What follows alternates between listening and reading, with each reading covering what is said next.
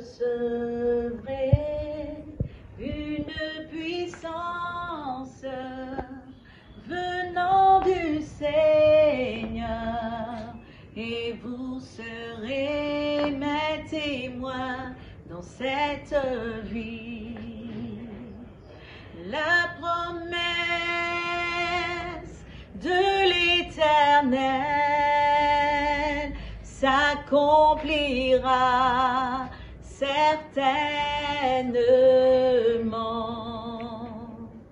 Assurément, elle s'accomplira certainement dans nos vies. Shalom, c'est la Chambre de l'Éternel Florencia Nadine. Je serai au Revitalisme 2023, le grand festival de la prière à Paris, à la salle Alliance, les 6, 7, 8 et 9 juillet, avec l'évangéliste Éloge Ekissi du ministère Océan de Grâce. Ne rate surtout pas cette rencontre de tous les assoiffés du Saint-Esprit. À bientôt!